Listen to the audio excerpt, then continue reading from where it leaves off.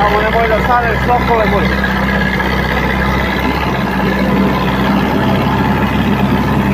Au.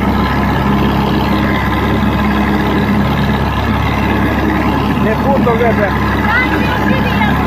Da li ovamo, a? Ovamo njiva čini mi se.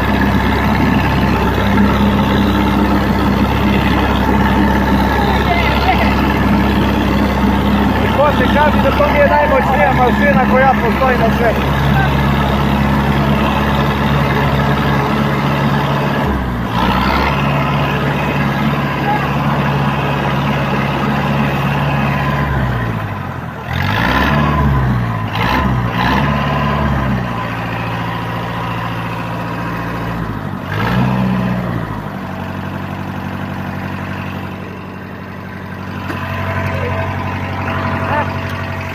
To bi bilo to.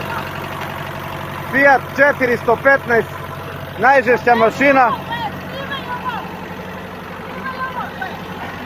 Mlađi brat od amfibiju Rusku.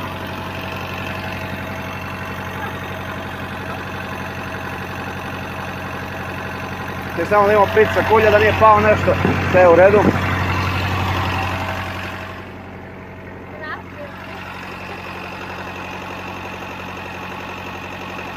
Nema nazad. Pa gdje da skačeš bre, to ti, ti koja je to voda bre. Ovo je moja žena Jelena, udala se za budalu. Šta da joj radi? Nek joj je Bog na pomoć. A ovo je reka Crni Timok.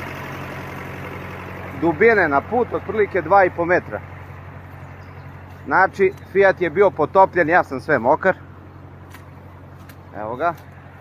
Put se ne vidi. Ništa se ne vidi. Evo je reka ide.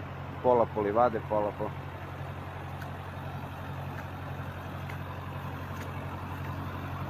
E, to je... To.